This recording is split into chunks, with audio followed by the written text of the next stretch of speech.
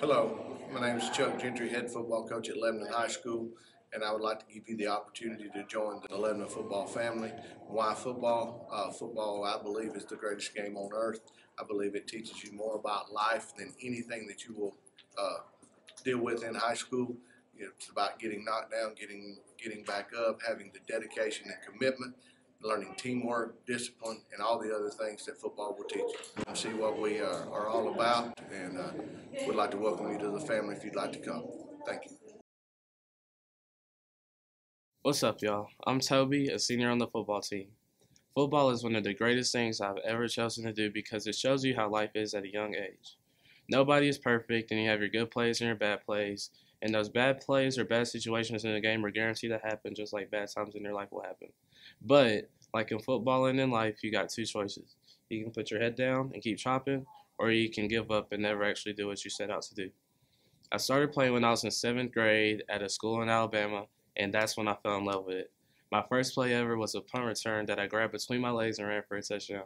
I was really just so scared of all the big people and how they were all trying to take my head off, so I ran fast enough away from them so they couldn't.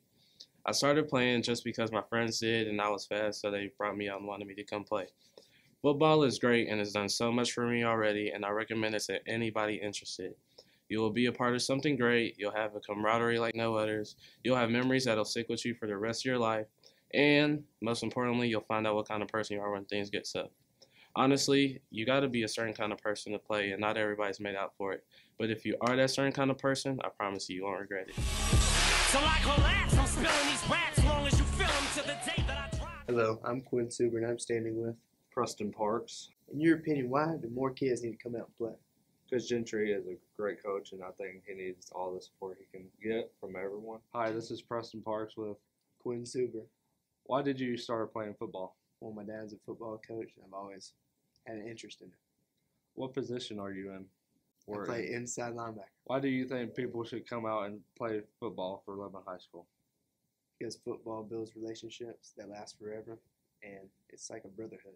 What's up, LHS? I am number 10, Toby, here with Keemon Noble, number 24. Now, tell us when and why did you start playing football?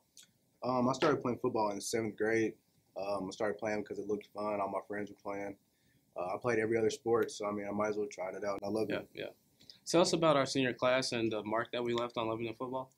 Um, we left a tremendous mark. Our, our, senior class, we're all brothers, so I mean, we, we did everything as a family, and uh, we worked hard as a family. So I mean, it just left a big impact on the Lebanon football. Yeah. Yep. And uh, lastly, do you have any words for the younger guys coming up?